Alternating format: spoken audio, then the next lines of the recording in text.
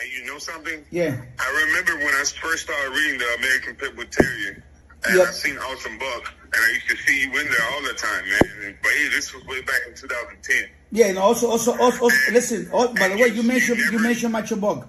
Awesome Buck was born first. He's the original Awesome Buck. There was a fake one too, Brindo, what they tried to imitate back in the days, talking about 2000, 2001, 2002. And Macho Buck was born later, and it's a it's a cheap imitation, so cheap that genetically Awesome Buck made two grand champions on, a, on one liter, and Macho Buck got bred maybe a thousand times, never produced a single grand champion. He's the dog of the swampers. That's why you see a lot of low life people with Macho Buck dogs. That's why. Yeah. But um, no, it was it was actually I used to see you on the cover. You know what I mean? I used to see your your your website and everything, and you never sold to anybody. Exactly. You never sold to anybody, bro. You know, I see that. Trust me, I know who you are. I know, I know what you do, and I know exactly, you know, uh, what you have. You know, I I've been reading up on you, man, for a long time, dude. You know what I want to do, bro? no You know what I want to do?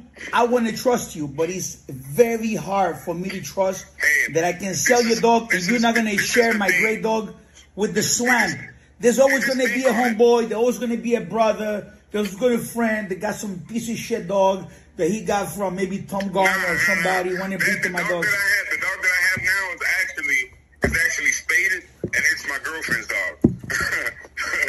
my my homeboy gave me a dog, and I just told her that she can have it. What, what, what, what, what, what, what state you calling from? I'm calling from Arkansas.